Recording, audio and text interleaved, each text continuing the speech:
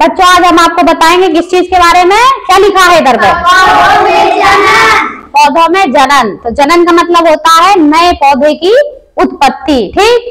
तो पौधों में जितने पेड़ पौधे पाए जाते हैं उनमें जो जनन होता है दो प्रकार से होता है ठीक? दो विधियाँ होती हैं कौन सी? अलैंगिक जनन और लैंगिक जनन ठीक? जो अलैंगिक जनन विधि होती है वो कितने प्रकार की होती है? चार। प्रकार की। कौन कौन सी है? मुकुलन खंडन बीजाणु निर्माण और वर्धी प्रजनन या कायक प्रवर्धन। अब मुकुलन क्या है? मुकुलन आप लोगों ने ब्रेड देखी होगी? देखी है? तो ब्रेड बनाने के लिए उसमें ईस्ट डाला जाता है। क्या डाला जाता? है ईस्ट डाला जाता है। जो ईस्ट होता है उस ब्रेड के मटेरियल को फर्मेंटेशन करता है। तो ये ईस्ट जो होता है कुछ इस तरह से देखने में होता है। इस ईस्ट के विकास के बाद इसमें मुकुल निकलते हैं। नवीन मुकुल दिख रहा है। मुकुल मीन्स होता है कली। क्या होता है? कली। कली। वो धीरे धीरे इस सेल से अलग हो जाती है। तो एक नई ईस्ट बनाती है। ऐसे ही एक एक श्रृंखला बनती जाती है तो मुकुल श्रृंखला बन जाती है। ठीक? तो इसको क्या कहेंगे हम? मुकुलन अलैंगिक जनन। ठीक? दूसरा है खंडन। अलैंगिक जनन इसमें क्या होता है?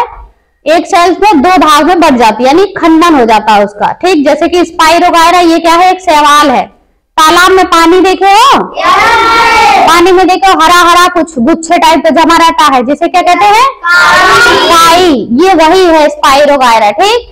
तो काई जो होती है, नई सेल्स कैसे बनती है? एक सेल दो में बढ़ जाती है। तो एक नया सवाल बन जाता है, ठीक? क्या होता है इसमें खंडन अलैंगिक जनन वाला एक सवाल नए सवाल बनता है। अब बीजाणु निर्माण द्वारा ठीक? तुम लोग घर पे अचार अचार देखो उसमें फफूंद लग जाता है? तो उसी फफूंद का नाम क्या है? राइजोपस। जो फफूंद जम जाती है फिर वो हवा द्वारा किसी तरह हिलने से जो जो गोल संरचना दिख रही है ये क्या होते हैं? बीजाणु। ये गिर जाते हैं और नमी पाकर दूसरी फफूंद फफूंद उगाती है ठीक? तो क्या होगा? बीजाणु निर्माण। यानी कि ये भी क्या है? अलैंगिक जनन है।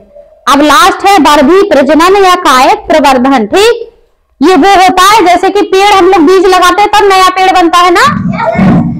लेकिन इसमें क्या होता है कि नया पेड़ पत्ती, तना और जड़ से बनता है, ठीक? कैसे? अजूबा की पत्ती देखी है? अजूबा की पत्ती से ही नया पेड़ उगाता है, ठीक? तना, जैसे गुलाब का कलम लगाते हो या आलू लगाते हो, तुम लोग क्या उसकी आँख को काट दिया जाता है, ठीक? तो जिससे कि क्या जाता है? नया पेड़ जम जाता है, ठीक? और शकरकंद और डहेलिया, ये जड़ होती है, इनको लगाने से भी नया पेड़ आ जाएगा, ठीक? तो ये हम लोग क्या पढ़ लिया? लैंगिक जनन, ठीक? अब आया है लैंगिक जनन।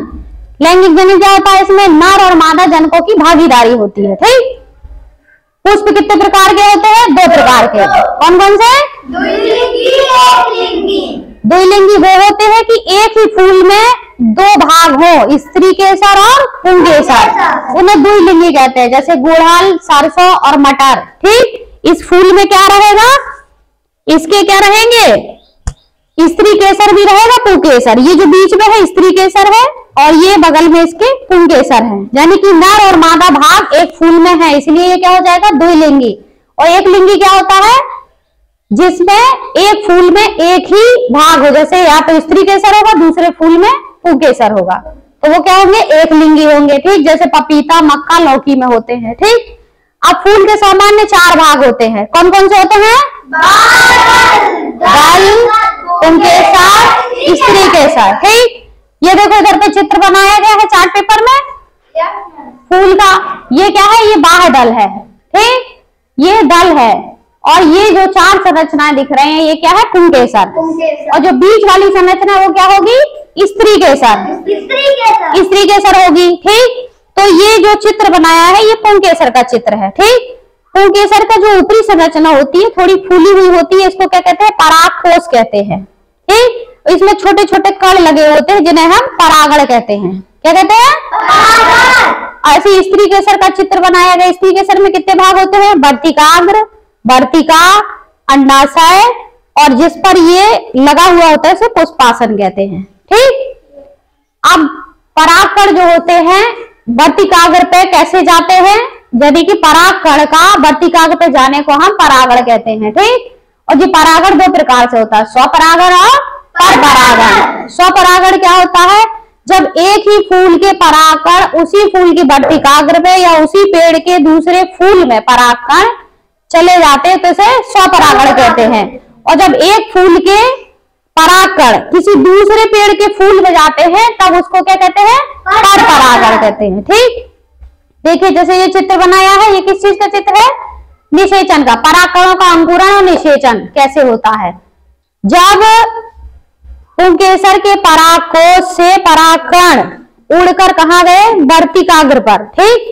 तो ये देखिए वर्तिकाग्र पे आ गया। क्या है ये परागण फिर ये अंकुरित हुआ अंकुरित होकर धीरे धीरे कहाँ तक जाएगा? अंडाशय तक ठीक? वर्तिका से होते हुए अंडाशय तक जाएगा। अंडाशय ये अंडाशय है और ये बीच में जो है ये अंड कोश है। इसको क्या कहते हैं? बीजांड ठीक? यानी कि बीजांड से ही क्या बनता है? बीज। और ये अंडाशय विकसित होकर क्या बन जाएगा बाद में? अंडाशय। और ये जो परागकण है ये विकसित होकर अंडाशय तक जाएगा और इस नर और मादा युग्मक के मिलने से ये युग्मनज का निर्माण होगा ये कोशिका है। ठीक? समझ में आया? और ये देखिए हम एक फल भी लिए हैं। क्या है ये? अमरूद। तो अमरूद जिसको हम लोग खाते हैं ये क्या है? बीजांड है कि अंडाशा है अंडाशा है। इसके अंदर बीज होंगे जो बीजांड से बने हैं। ठीक? पहले फूल हुआ फूल से फल बन गया फूल का अवशेष भाग कहाँ है? इधर पर है। ठीक?